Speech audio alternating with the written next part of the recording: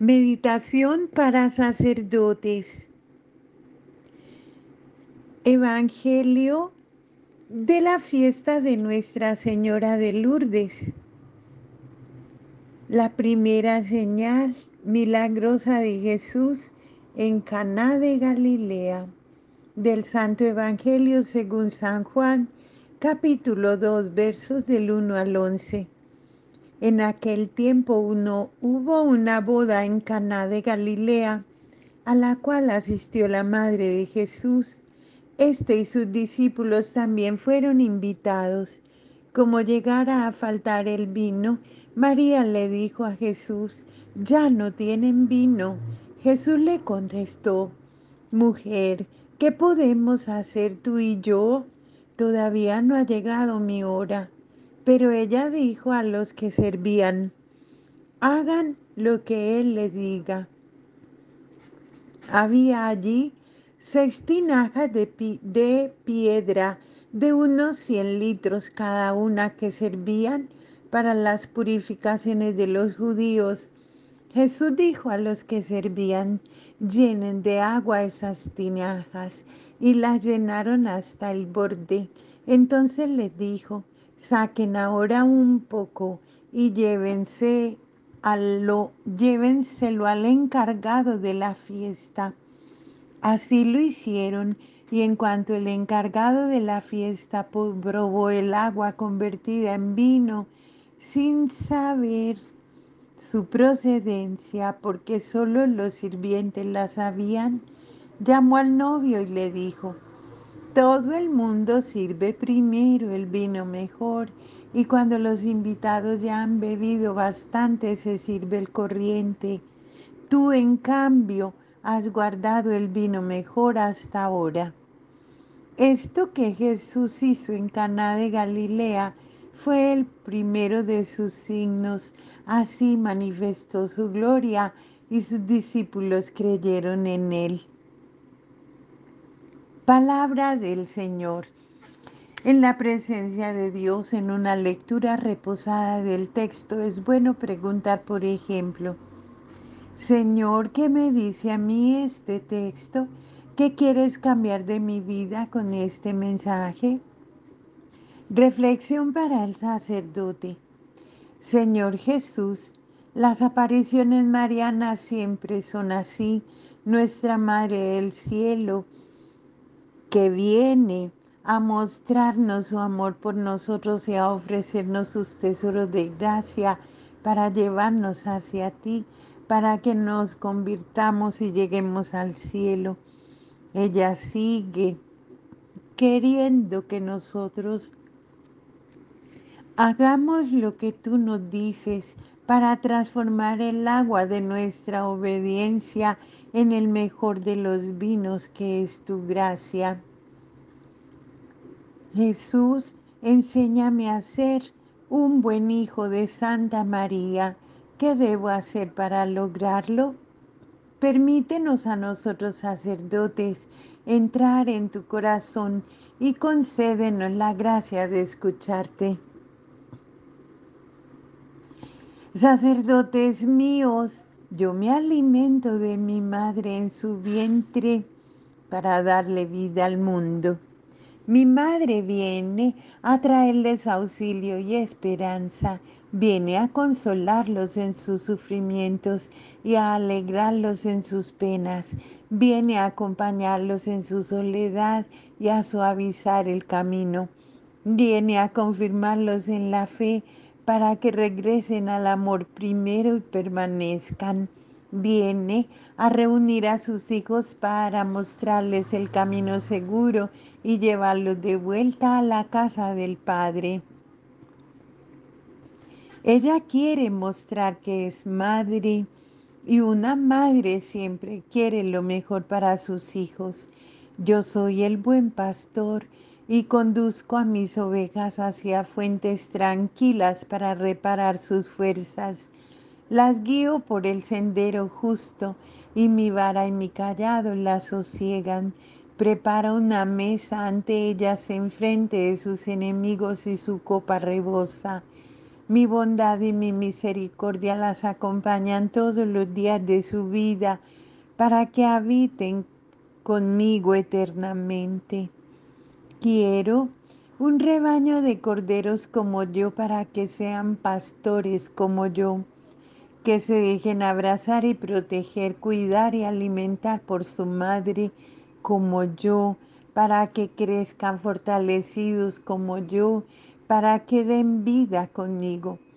Quiero corderos que se reconozcan débiles y necesitados, que me pidan misericordia y que la reciban para que se conviertan en verdaderos pastores de mis rebaños. Madre mía, Virgen Inmaculada, los relatos de tus apariciones en Lourdes nos hablan de tu amor de madre, de la importancia de tomar la cruz de cada día, de la oración y del Santo Rosario, de rosas y de misericordia por los pecadores, de la salud del cuerpo y del alma, de pobreza y de humildad. Es muy reconocida la devoción de los peregrinos de beber del agua de la gruta pidiéndote su curación. Madre de Cristo, sumo y eterno sacerdote, te agradezco tus cuidados maternos. Enséñame el camino para llegar con tu ayuda más fácilmente a Jesús y dame la salud de cuerpo y alma para servir fielmente a tu Hijo. Déjame entrar a tu corazón y modela mi alma conforme a tu Hijo Jesucristo. Hijos míos, sacerdotes, yo he venido a traer la salud para todos aquellos enfermos del alma y también del cuerpo. La fuente de agua viva que es Cristo que en unión al Padre, en el Espíritu Santo, da vida y salud a todo aquel que acude a Él con fe, con la esperanza de que aquel que es el amor se derramará en misericordia cuando los mire, cuando les diga una sola palabra, porque una sola palabra basta para curarlos y más aún se derrama sobre aquellos a quienes les basta tocar la orla de su manto. Pero yo les digo, hijos míos, que aunque aparentemente el agua no tenga valor, en el desierto es el tesoro más preciado y en tierras de desierto ríos caudalosos brotan y llenan de vida todo lo que tocan. En esas tierras viví yo y por obra del Espíritu Santo el agua viva de mi vientre inmaculado brotó. Agua viva que Él que es la vida, fuente inagotable de amor, transformó en milagro patente. Testigo fui yo, la vida fue engendrada en mí para dar vida al mundo a través de la cruz de la transformación de la vida en muerte y la muerte en vida eterna a través de la resurrección, salud de los hombres en la sangre de Cristo derramada en la cruz. Yo soy la Inmaculada Concepción, vaso y conducto del agua de vida para el mundo. Nada puedo hacer yo sin Él, pero todo lo puedo en aquel que me da la fuerza. Los milagros los hace Dios, pero el poder de convencerlo tengo yo, porque Él me lo dio. Yo soy Madre de Misericordia, porque en mi seno llevo al Hijo de Dios. Yo les pido a ustedes que sean hijos para que yo muestre que soy madre, que renuncien a sí mismos y que tomen su cruz, pero no tengan miedo, porque yo los envío a anunciar la buena nueva al mundo, cargando una cruz que no es de clavos, sino de rosas. Yo soy madre, ¿y qué madre quiere ver sufrir a sus hijos? Mi Hijo ha venido al mundo a cargar con el pecado de los hombres para morir crucificado. porque era necesario que padeciera y que muriera en manos de los hombres para con su muerte morir al pecado de una vez y para siempre. Y habiendo ofrecido un solo sacrificio por los pecados de los hombres, se sentó a la derecha del Padre para siempre. Yo soy madre y corredentora con Cristo, unida en ese mismo sacrificio por el que Él, que ha muerto y resucitado, tiene llagas en sus manos, en sus pies y en su costado. Pero Él, en su infinita bondad, quiso cambiar las llagas de mis manos y de mis pies y la herida de mi corazón por pétalos de rosas porque ¿qué hijo quiere ver sufrir a su madre? Y me llenó de rosas, y por cada rosa llamó a un sacerdote para que al nacer en el altar es configurado con Cristo en la cruz y nace con llagas en las manos y en los pies y en el corazón. Yo soy madre y quiero hacer con ustedes lo que Él hizo conmigo. Quiero cambiar sus llagas por pétalos de flores.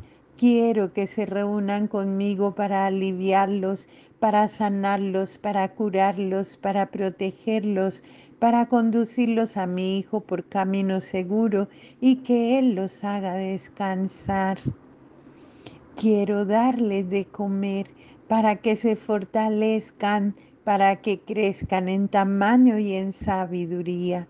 Quiero que sean hijos y que me dejen ser madre. Mi hijo no ha venido al mundo a llamar a los justos, sino a los pecadores. No ha venido a curar a los sanos, sino a los enfermos. Yo soy madre de misericordia porque soy madre del amor y auxilio a mis hijos en sus necesidades y llamo a los enfermos para curarlos, a los que sufren para aliviarlos, a los que tienen hambre para alimentarlos, a los que tienen sed para darles de beber, a los que están solos para acompañarlos, a los atribulados para confortarlos, a los cautivos para liberarlos, a los desnudos para vestirlos de fiesta. Yo llamo a mis hijos para llenarlos de cariño, para abrazarlos, para sostenerlos, para alentarlos, para que se mantengan en el camino y perseveren en su renuncia, en su cruz de cada día y en el camino siguiendo a Jesús. Yo soy madre de la salud y de la gracia. Yo curo a mis hijos sacerdotes, a los que están enfermos del cuerpo y enfermos del alma.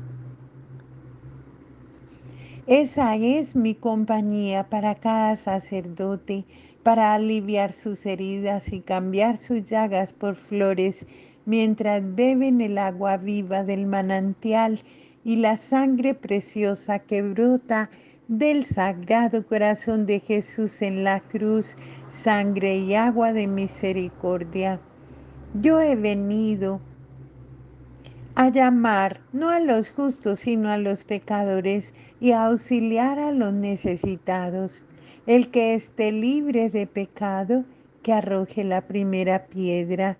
Que mi salud se quede con ustedes. Yo los bendigo. Muéstrate, Madre María, para examinar la conciencia, el agua de la obediencia. Hagan lo que Él les diga eso, sacerdote, es lo que tienes que hacer. Obedece, sacerdote, para que no te equivoques, porque el Espíritu Santo le ha sido dado a los que obedecen a Dios. Escucha, sacerdote, la voz de tu Señor. Pide, pide te pide que seas portador de agua viva de su manantial que es la gracia y la misericordia derramada en su pasión y muerte en la cruz, en el sacrificio redentor para la salvación de las almas. Entrega tu voluntad al servicio del Señor y llena las tinajas de agua viva para que por Él, con Él y en Él la lleves a las almas convertida en el mejor de los vinos que es fuente de vida y bebida de salvación. Pero bebe tú primero, sacerdote, recibe la gracia y la misericordia de tu Señor Abre, sacerdote, tu corazón para que sea expuesto y tú mismo descubras si tiene salud o está enfermo. Humíllate y sé honesto y pide, sacerdote, lo que necesita tu alma y lo que necesita tu cuerpo. Reconoce tu necesidad, tu miseria, tu debilidad, tu fragilidad y date cuenta que tú eres portador de la gracia de Dios, pero llevas ese tesoro en vasija de barro. Pide a tu Señor la fortaleza y los dones del Espíritu Santo para que permitas que sea Él quien vive en ti, porque Él es la salud, Él es la verdad, Él es la luz, Él es la vida, Él es todo lo que a ti te falta sacerdote, haz lo que Él te diga, pero convéncete de que lo necesitas. Nada puedes sin Él, pero con Él eres omnipotente porque Él ha vencido al mundo y es con Él como tú también lo vences. Tú tienes, sacerdote, el poder de Dios en tus manos para llevar la salud al enfermo del alma y del cuerpo. Cumple, sacerdote, con la misión. Corresponde a la gracia de tu Señor, derramando la misericordia a través de las obras de tus manos, que con el poder de Dios otorga a aquellos que tienen sed, que necesitan de tu poder para transformar su enfermedad en salud y recuperar la vida que un día recibieron a través del agua viva que tus manos derramaron con la gracia del Espíritu Santo. Sacerdote, eres portador de gracia, eres portador de vida, eres portador de salud, eres portador de misericordia, eres portador de alegría. No permitas que tu agua se acabe, porque para que tú la bebas del mejor de los vinos, debes primero Obedecer a tu Señor llenando las tinajas de agua viva. Permanece sacerdote junto a la Madre de Gracia y de Misericordia como un niño pequeño que pide con insistencia, porque es así como todo lo consigue. Al niño obediente la madre no le niega sus caprichos, lo consiente, lo mira con ternura y le da lo que le pida.